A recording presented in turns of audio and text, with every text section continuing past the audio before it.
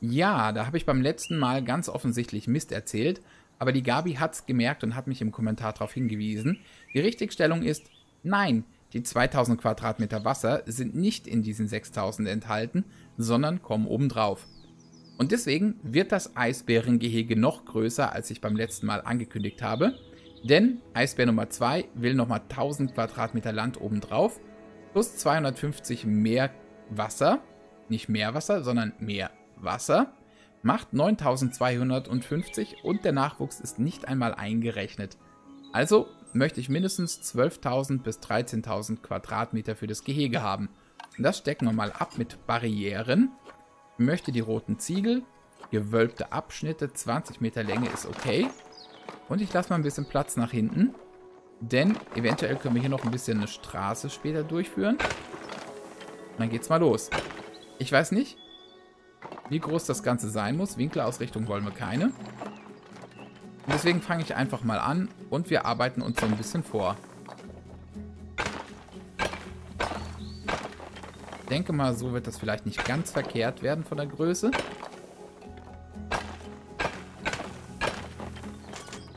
So. Schön am Weg entlang.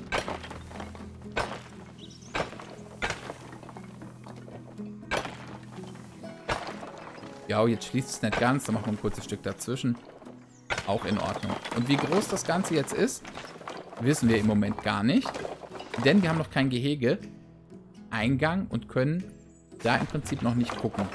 Den will ich aber gar nicht irgendwo hier vorne hinbauen, sondern den wollen wir mitten reinbauen und mit einem Tunnel anschließen. Und das wird als nächstes vorbereitet. Mitarbeiterweg. Eine Einheit lang, 4 Meter breit. Tunneln soll das Ganze nicht zu nah ans Wasser ran, denn ich glaube, ich müsste das Wasser nochmal vergrößern von der Fläche. Und deswegen einfach mal hier.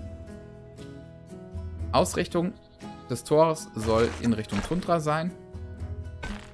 Und wir gehen jetzt einfach mal ein bisschen runter. Mindestens vier Wegeinheiten. Dann gehen wir nochmal eben. Gehen um die Ecke. So, ein bisschen schöner, ohne Winkelausrichtung. Und einfach mal hier in Richtung Weg zurück. Und jetzt gehen wir mal in die Draufsicht, damit wir uns mit der Richtung hier nicht vertun.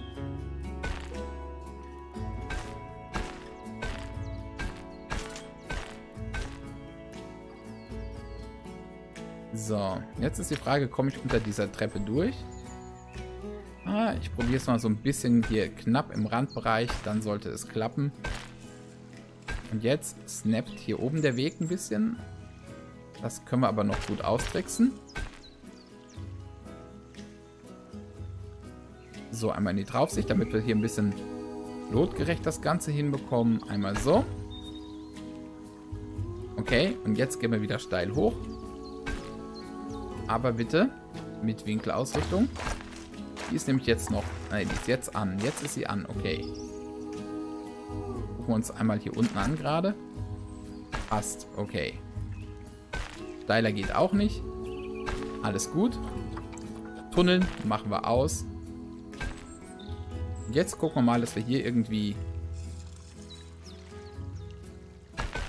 auf diesen Weg rankommen. Das sieht doch gar nicht schlecht aus. Jetzt machen wir mal ein 3 Meter Stück.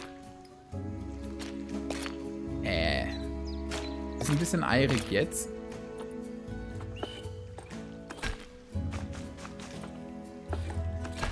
Machen wir noch einen dran. Gucken mal, ob wir das jetzt ein bisschen schöner hinbekommen. Oder wir machen die Winkelausrichtung aus. Genau. So sieht das schön aus. Okay. Ist jetzt auch provisorisch, denn ich würde später gerne hier lieber ein paar Läden hinhaben. Dann wird mit Sicherheit der Weg nochmal anders hochgeführt werden. Aber erstmal soll das Ganze funktionieren.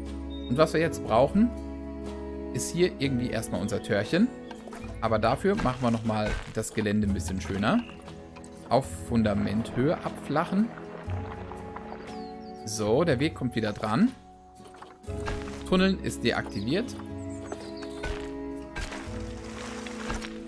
Jetzt suchen wir uns einen Gehegeeingang raus. Der muss hier dran. So nah wie es geht will ich ihn ran haben einfach, damit wir nicht so viel Platz verschwenden. Wunderbar. Und ja, wir müssen das Ganze einmauern, denn hier hätten wir jetzt Fluchtbereich für die Eisbären. Also das Loch muss dicht. Und das machen wir mal mit 5 Meter Winkelausrichtung 90 Grad.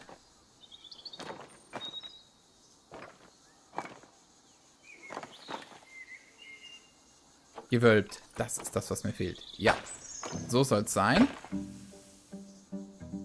Okay. Jetzt gehen wir hier vorne dran.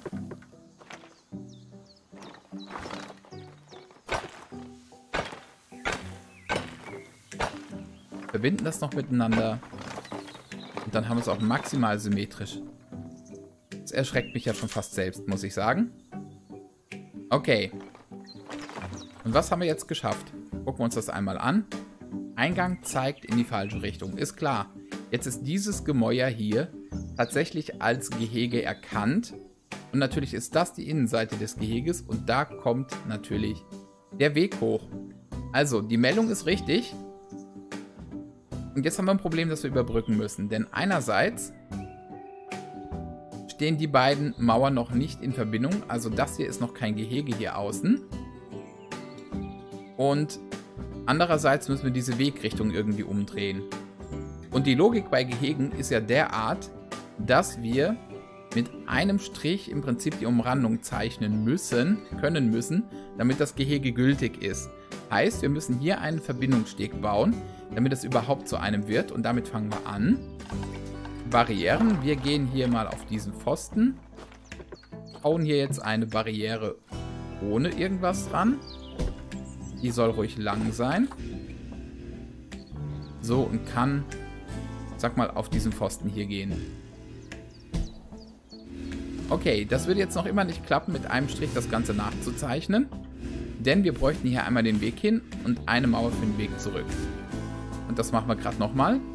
Setzen hier noch eine zweite dran. Und ich setze mal ganz bewusst so, um euch dann noch was zu zeigen, was uns später Probleme bereiten wird.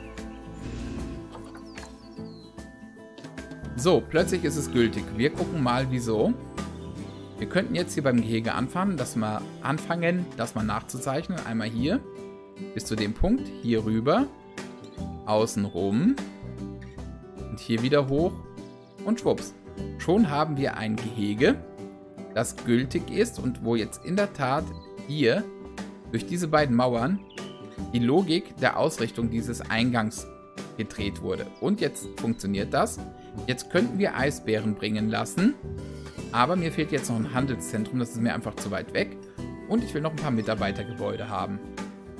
Und da gucken wir jetzt erstmal nach. Und dann kommen die Eisbären. Hier unten, upsala, haben wir ein bisschen Platz. Da könnten wir einfach mal mit unseren Geländetools ein bisschen Platz schaffen. Geh mal auf 4 Meter Breite, fangen damit mal an. Und geh mal hier in die Richtung raus. Jetzt können wir ruhig auf 6 Meter gehen. Oder warum nicht eigentlich auf 8? Damit sollten wir immer noch nicht oben rauskommen. Dann haben wir hier ein bisschen, ein bisschen Platz, was zu machen. So, mal gucken, wie weit ich nach hinten kann. Irgendwann müsste ja das Gewässer kommen. Und da sind wir auch schon angekommen am Ende. Das heißt, so weit wollen wir gar nicht gehen. Das muss nämlich vielleicht noch ein bisschen größer werden. Das heißt, wir verteilen uns mal lieber hier über die Länge. So. Und die Frage ist jetzt, was brauchen wir eigentlich an Gebäuden? Ich klatsche die einfach direkt hier dran, oder? Ja, das reicht. So. Brauchen wir noch einen separaten Mitarbeiterweg? Ich könnte ja natürlich noch mal einen machen, der hier runterführt, aber das ist eigentlich auch Quatsch. Nee, das machen wir nicht. Das machen wir nicht. Also, Gebäude. Wir brauchen auf jeden Fall Wasser und Strom.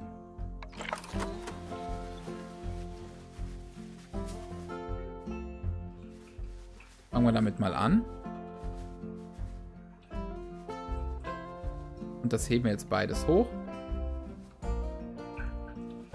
Beides? Wieso beides? Doch das erste. Ungefähr das wird die Höhe sein. Das darf ruhig weiter nach vorne. So, Wasseraufbereitung. Baugruppe steht. Transformator kommt daneben. Jetzt. Ach, da haben wir doch Platz, oder? Machen wir weiter mit Mitarbeitereinrichtungen. Und zwar erstmal mit dem Mitarbeiterpausenraum in klein. Uh. Nee, Platz ist da mehr als genug. Okay. Dann habe ich ja gesagt, ein Handelszentrum wollen wir haben. Das müssen wir auch anklicken. Eine Werkstatt ist nicht verkehrt.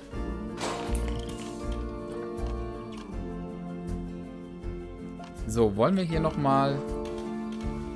Die Tierpflegerhütte könnte natürlich weiter nach vorne. Das macht Sinn. Dann machen wir nochmal eine Arztpraxis.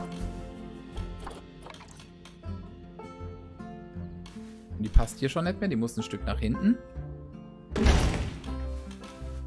Und die Quarantäne. Das machen wir nach Bedarf mit Quarantäne. So, die Räume sind da. Und was wir noch nicht haben, ist den Arbeitsbereich. Ich klicke immer da drauf, das macht mich wahnsinnig. Den nennen wir einfach mal Aqua. Und da darf das jetzt alles rein. Genau.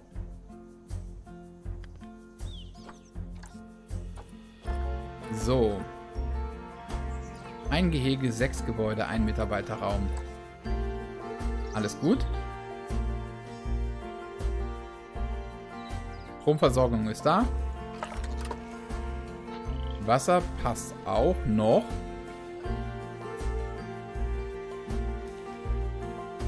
Müssen wir hier hinten aber auch nochmal bauen. Na gut. Ist schon mal eine wichtige Info. Jetzt brauchen wir Mitarbeiter. Und zwar einen Zoopfleger. Der wird gleich verhaftet auf seinen neuen Arbeitsbereich. Dann nehmen wir noch einen Tierpfleger hinzu.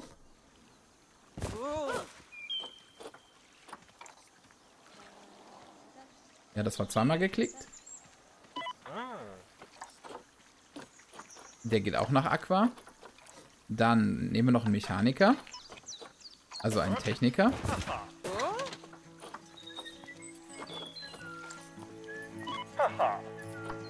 Okay. Auch hier. Aqua. Du haust gar nicht erst ab wie deine anderen Kollegen. Sicherheitsbeamten können wir auch noch mal einen hinzunehmen. Ja. Wäre doch mal gut für jeden Bereich einen eigenen zu haben.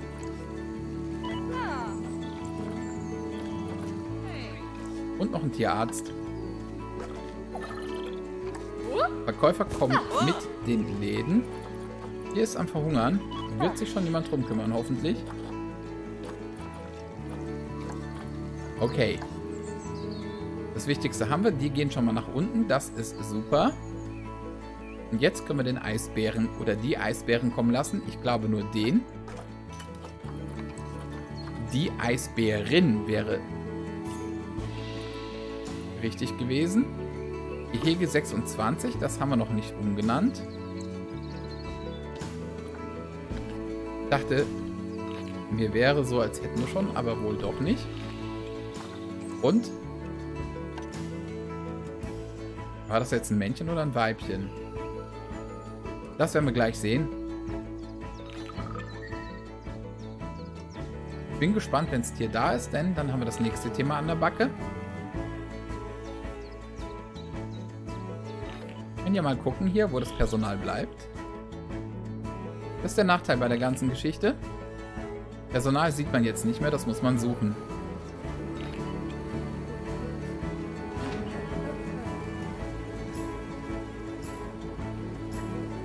Hm, der da hinten wird aber auch nicht fürs Schnelllaufen bezahlt. So.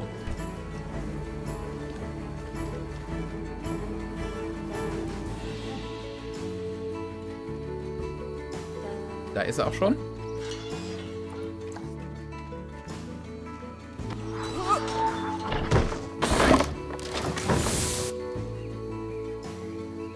Ja, hallo. Geht ja schon mal gut los hier, oder? Ist gar nicht so schlimm. Nice. Schönes Tier. Muss ich ganz ehrlich sagen. Hübsch. Gefällt mir gut. Also, was will ich euch jetzt noch zeigen? Schaut mal.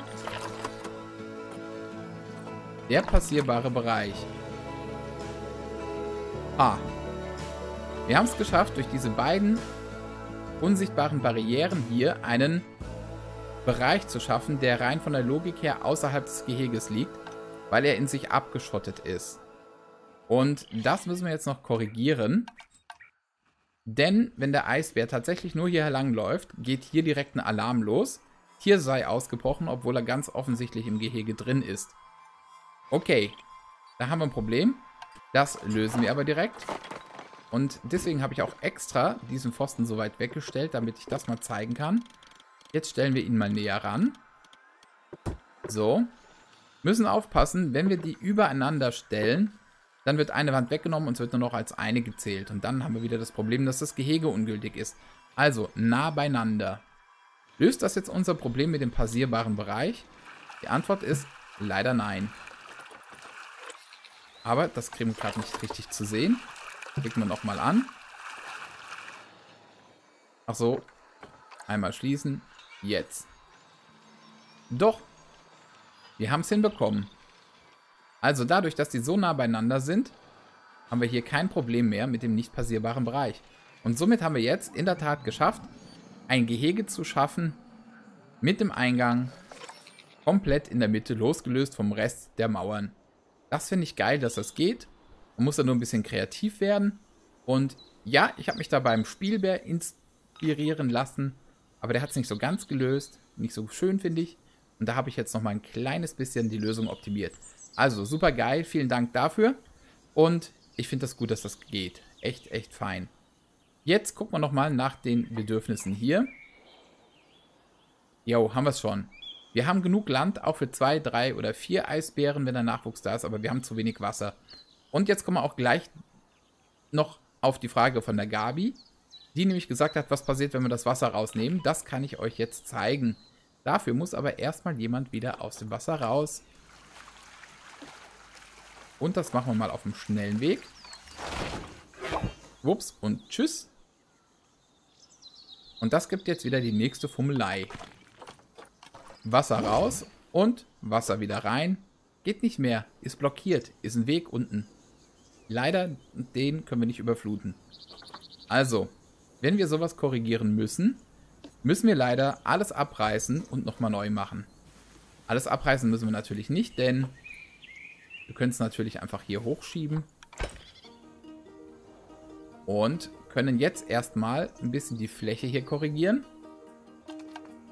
Ähm und machen hier im Randbereich einfach ein bisschen Material weg. Größe 8 ist gut. Das senken wir hier einfach mal alles ein bisschen ab.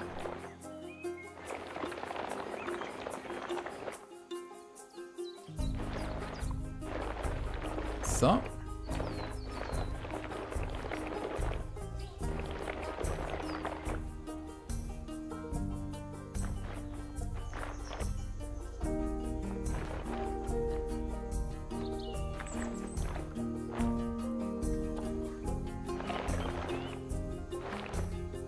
Hier können wir auch noch ein bisschen bis an die Mauer rangehen, weil da müssen sie auch gar nicht raus. Gibt es nichts mehr zum Rausgehen. Hier ist fertig das Gehege. Dann können wir dann noch ein paar Meter gewinnen.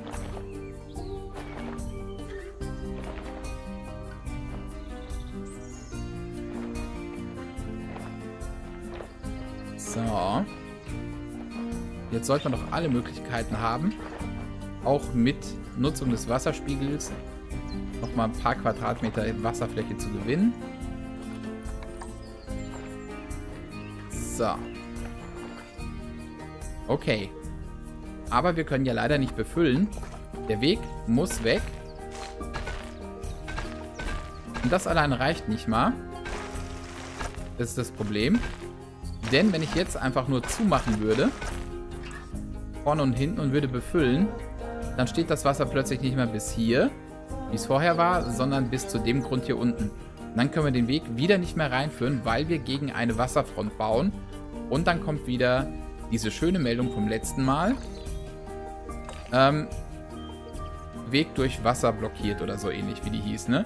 Deswegen müssen wir das alles wieder zuschaffen hier.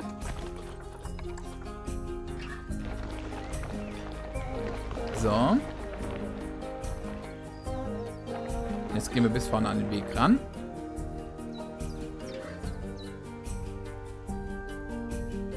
Hier machen wir das gleiche. Wobei, wir könnten hier schon mal den einen Wegabschnitt wieder vorne dran setzen.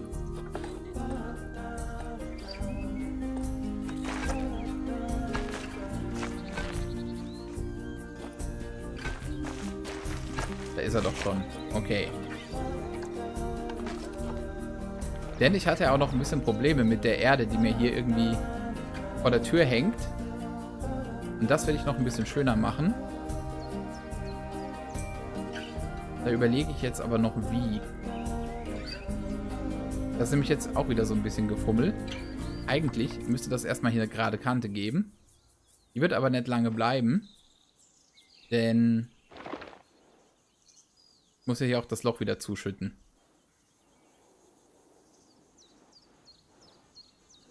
Also, wenn der Weg hier reinstößt an der Stelle, dann können wir doch eigentlich, ich probiere es jetzt mal aus, bis hier vorne einen kleinen Kegel machen.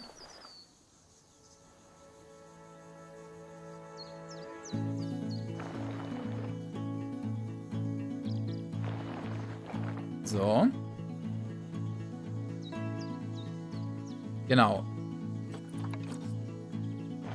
Das sieht gut aus. Das in der Draufsicht in der Tat der Weg ungefähr mit der Kante hier abschließt. Und dann sollten wir das doch eigentlich nur noch von unten hoch zu bauen. Und dann müsste der Abschluss schöner sein als beim letzten Mal. Und hier machen wir in der Tat nochmal ein bisschen angehobenes Land hin.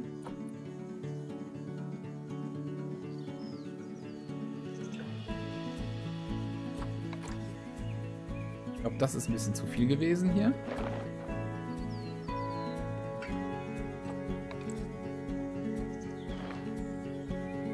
Da gehen wir nochmal mit dem abflachen Tool hin, sonst kriegen wir den Weg vielleicht gar nicht rein.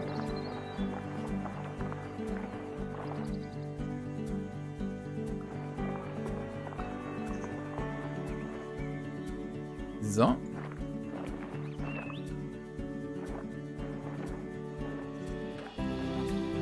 Ja, das war zu viel.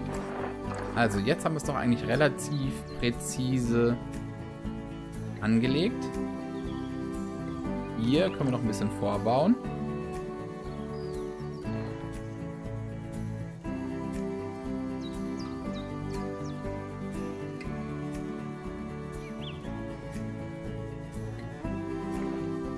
So. So sollte das eigentlich gehen. Und hier oben machen wir noch ein bisschen Material drüber, damit es nicht so eine lose rumhängende Erdzunge gibt.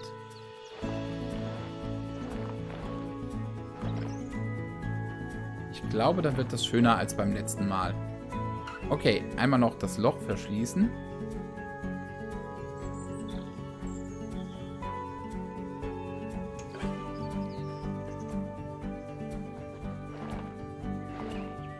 So. Nochmal von vorne her ein bisschen abflachen. Vorsichtig das Ganze.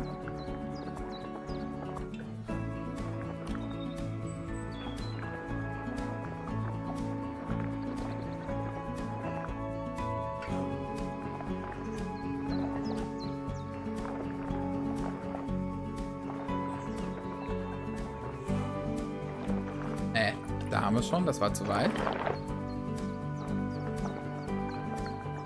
So, am Rand mache ich leider jetzt auch ein bisschen eine Kante. Aber das ist okay. Hier erhöhen wir nochmal oben drauf ein bisschen. Okay.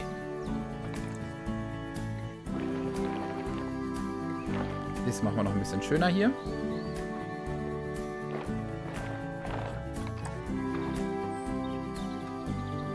Wunderbar. Hier auch. Bin ich irgendwie doch kleinlicher, als ich dachte. Okay, Wasser wieder rein.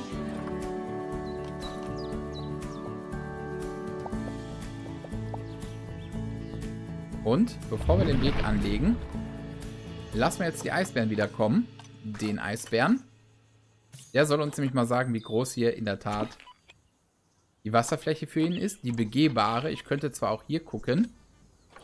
Aber dann kriegen wir gesagt 834. Und das stimmt ja vorne und hinten jetzt mal gerade gar nicht. Da ist irgendwas schief. Aber das ist auch so ein kleiner Bug hier, weil wenn ich jetzt an einem Gelände manipuliere, dann wird das irgendwie nicht wirklich neu gerechnet. Oder erst sehr, sehr, sehr spät. So, da bist du wieder. Müssen wir auch nochmal neu rechnen, hä?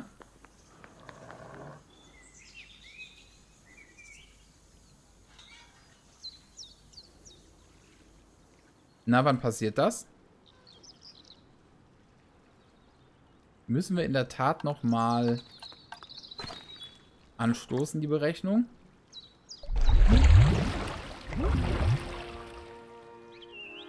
So, jetzt haben wir es. 2957. Das ist genug, hoffentlich, für alle Eisbären, die wir hier haben können. Das ist auf jeden Fall besser als vorher. Das lassen wir so. Jetzt können wir den Weg unten reinsetzen wieder. Und einfach hoffen, dass ich diese Abschlüsse hier gut gemacht habe. Winkelausrichtung ist an. Tunneln brauchen wir. Wieder die 10 Meter Breite am Anfang.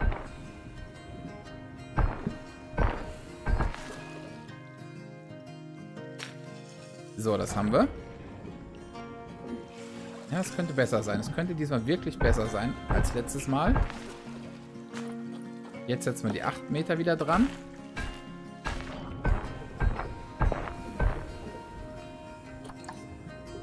Ups. Und holen uns einen Tunnel vom Himmel.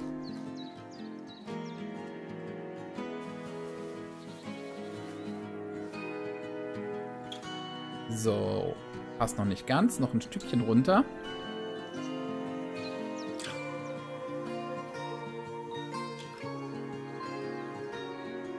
Ja, besser geht's doch gar nicht. Wunderbar.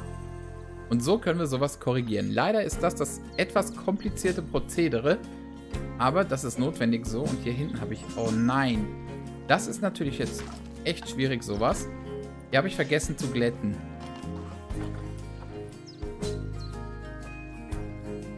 Und das kriegen wir am einfachsten hin. Oder wir gucken mal, was noch geht. Geht nichts mehr, ne? Da geht nichts mehr.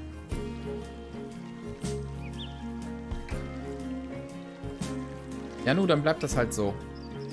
Entweder mache ich es im Off nochmal neu. Oder ich lasse es. Aber momentan, das macht es auch nicht besser, bin ich eher drauf, es zu lassen. So, der gute Eisbär hier hat nichts zu essen bis jetzt. Da müssen wir ran. Er soll auf jeden Fall mal ein Tablett bekommen. Das ist natürlich unter Gehege. Futter und Wasser und ein Essenstablett. Ich habe es wieder nur geliked. Schade. Und jetzt sollten die grundlegenden Bedürfnisse erstmal, so dass das Tier nicht verreckt, erledigt sein. Wir haben natürlich keinen Rückzugsort. Wir haben hier noch keine Geländeanpassungen. Wir haben noch gar nichts. Ähm, aber ich würde mal sagen, dafür, dass ich euch jetzt hier einen Tag länger habe warten lassen, gehen wir noch mal ein bisschen in die Verlängerung heute. Ähm, ich werde jetzt quick and dirty zumindest ein paar Dinge so machen, dass das Tier sich ein bisschen wohler fühlt. Ähm, die großen Bauarbeiten gehen nämlich noch los. Es fehlt ja noch die begehbare Höhle.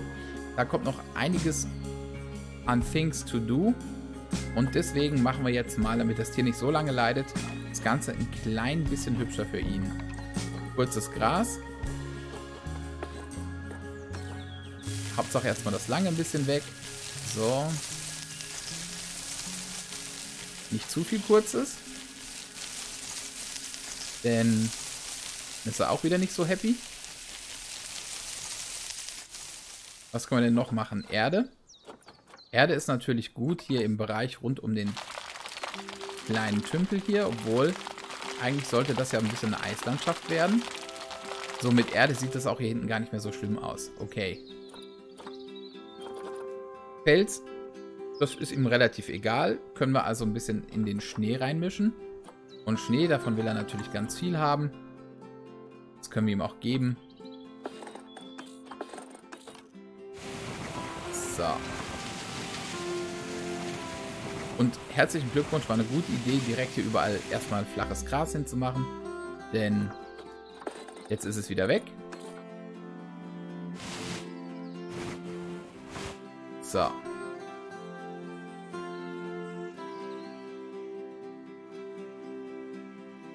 Okay. Das machen wir mal so. Hm. Klimageräte. Die sind natürlich hier unter Gehege.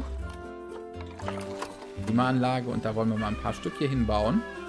Da wollen wir jetzt mal nicht so geizig sein.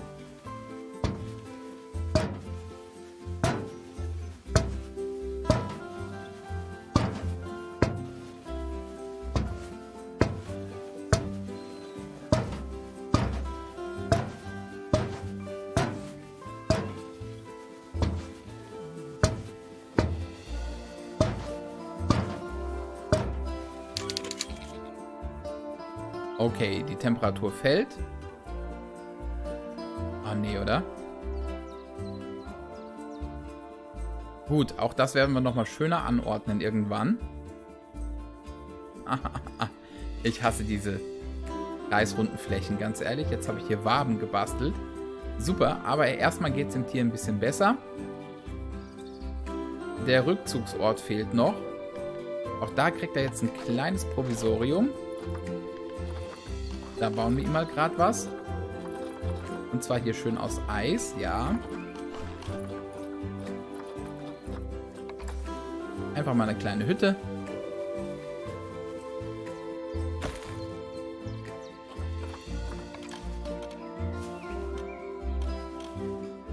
Automatisch stapeln ist wohl an. So.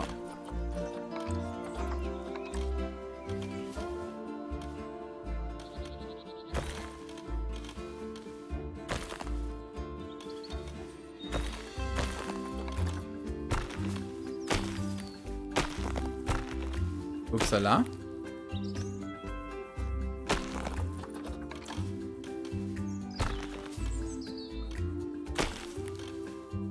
Okay, das haben wir. Und... Ja, das war jetzt natürlich nicht sehr intelligent, Matze.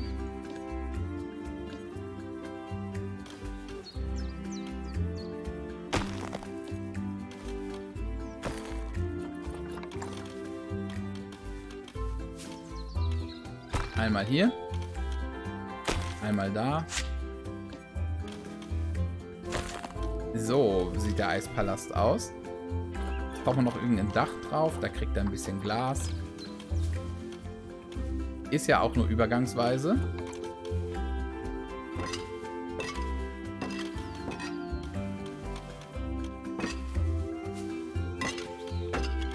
Oh, Präzision beim Klicken.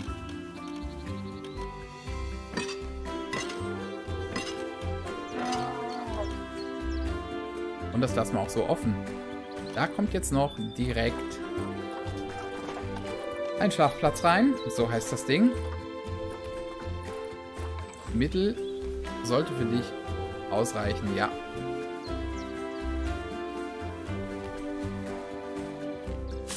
So, wir sind ja großzügig. Wir haben ja Platz. Drei Stück reichen jetzt.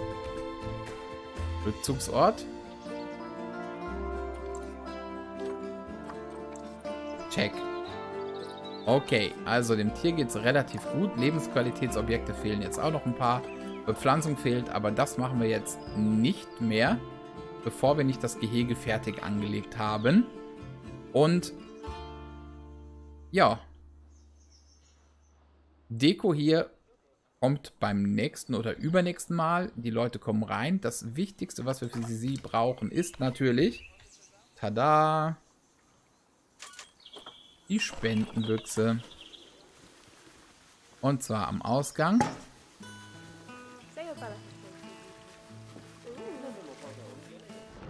Hier.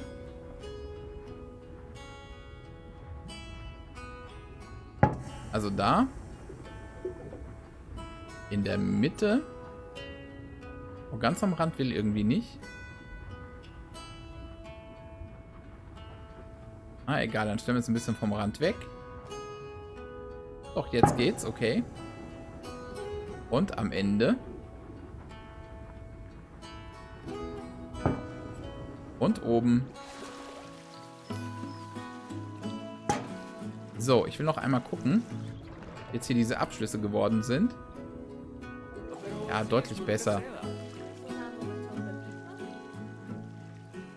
Jetzt können wir hier überlegen, ob wir hier nochmal ein bisschen... Ja. Ein bisschen korrigieren. Denn ich brauche tatsächlich hier hinten keine zwei Glaselemente mehr. Da kommt jetzt ganz normale Wand hin.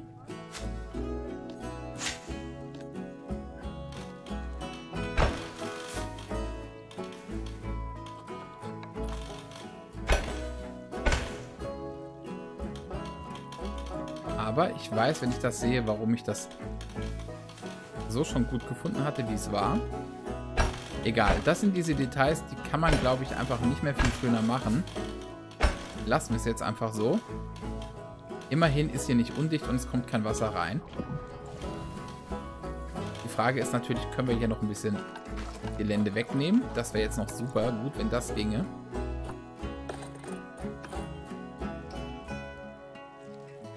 Aber das geht jetzt natürlich hier nicht, ne? Okay, dann ist es halt so.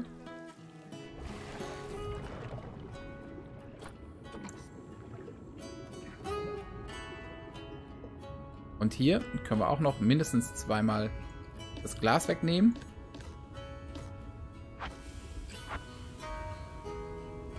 Und wir gucken es uns mal von hier an. Tauschen das auch hier gegen Mauer aus. Es ist immer ein bisschen fricklich, hier unten drin zu navigieren. Also ich kann schon echt verstehen, wenn man sagt, man hat da nicht viel Lust drauf, sowas zu bauen. Aber jetzt passt es. Besser würde ich sagen, kriege ich diesen Tunnel nicht hin. Dekoriert wird er natürlich noch. Aber ich will zumindest eure Kohle sehen. So.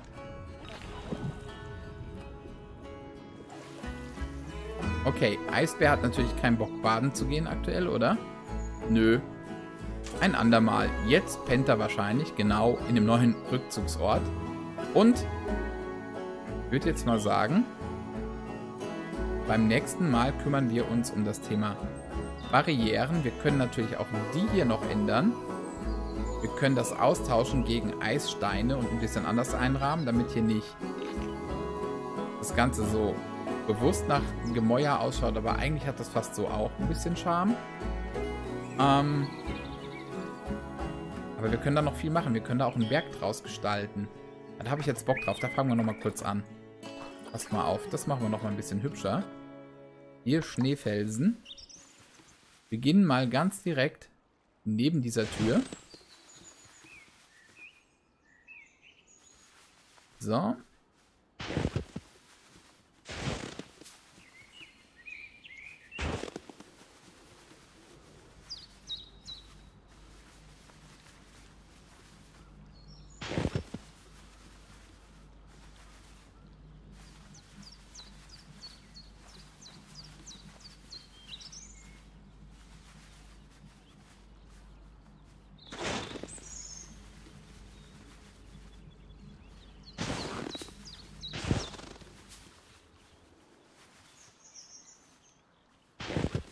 Wunderbar. Die erste Reihe. Da kommt noch ein bisschen was drauf.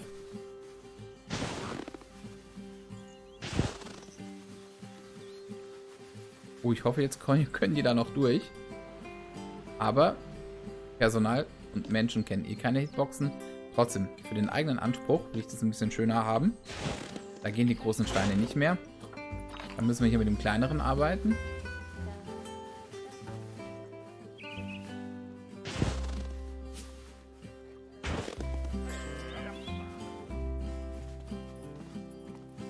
Der ist jetzt auch nicht so ganz der richtige.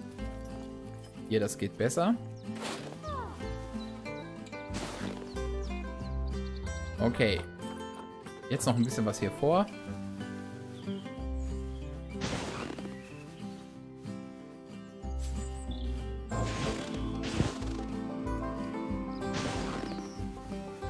Hier hinten, das ist noch ein bisschen steil. Müssen wir auch noch ein bisschen nachbessern.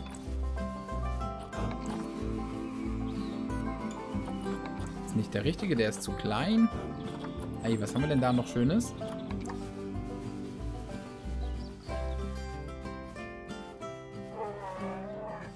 Der ist zu flach.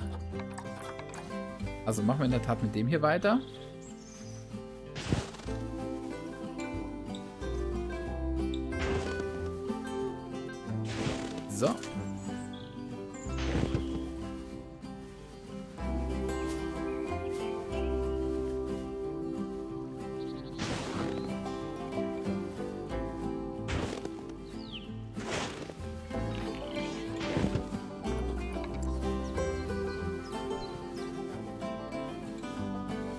No, der ist es nicht. Haben wir denn noch einen schönen größeren hier?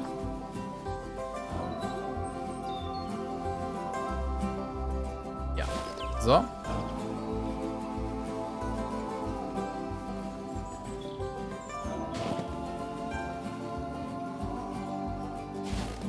Dann haben wir das Ganze doch ein bisschen in der kleinen Nähhöhle schon mal versteckt.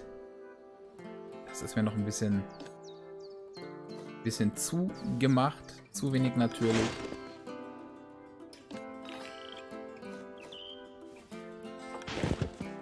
Und besser. Hier können wir auch noch ein bisschen was fixen, damit das nicht ganz so blöd ausschaut.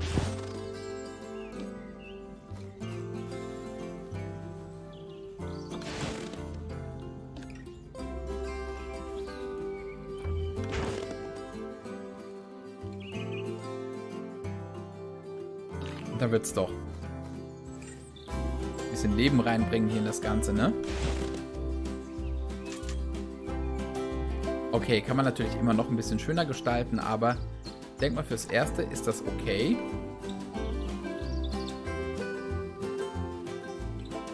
Und jetzt gucken wir mal, ob der Gute das auch in irgendeiner Weise nutzen kann. Nee, kommt er nicht hoch. Ist okay. Gar kein Problem. Habe ich auch nicht mit gerechnet. Und dann sind wir jetzt heute am Ende der Folge. Und beim nächsten Mal... Ja, was machen wir da? Da bauen wir die begehbare Höhle, den Rückzugsort. Dann wird diese Bude wieder abgerissen. Die ist ja nur ein Provisorium. Eine schöne, schöne Höhle, wo die Besucher auch reingehen können. Dann machen wir insgesamt ein bisschen Landschaftsgestaltung. Dann wird unten auch ein bisschen hier wahrscheinlich der Unterwassertunnel gestaltet. In das Becken kommt ein bisschen mehr Leben rein. Und dann wird das Ganze, glaube ich, doch ein ganz geiles Gehege werden. Okay, Wege hier noch drumherum vielleicht. Ja, schauen wir mal, was wir mit dieser Barriere machen. Ich glaube, das passt gar nicht in eine Folge rein. Und da schauen wir mal, wie viele es noch werden. Vielen Dank fürs Zuschauen und bis zum nächsten Mal. Euer Matze.